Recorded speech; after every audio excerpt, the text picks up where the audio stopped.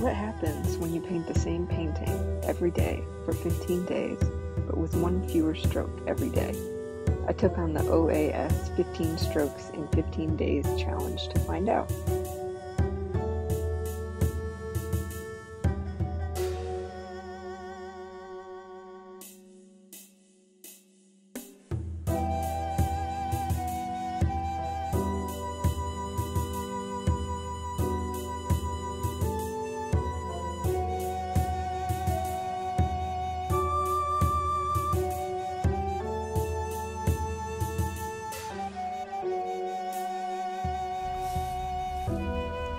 One of the challenge, doing a painting in 15 strokes, was hard enough.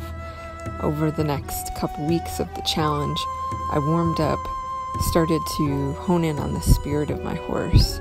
I tried out different ways to combine or simplify strokes, with some days definitely turning out better than others.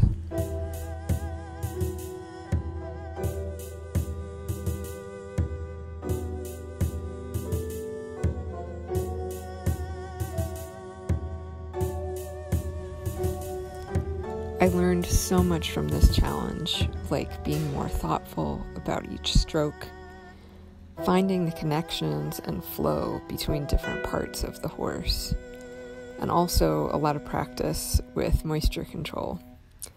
This was a really hard challenge, but also it felt really wonderful when I could create a simple piece where I felt like I was getting the essence across that I was looking for.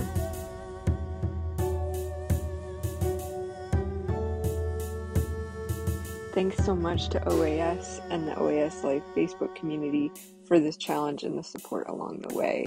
Um, I strongly uh, recommend checking out OAS as a wonderful family owned and operated business offering great supplies and support for those interested in traditional Chinese brush painting. You can find them at www.orientalartsupply.com.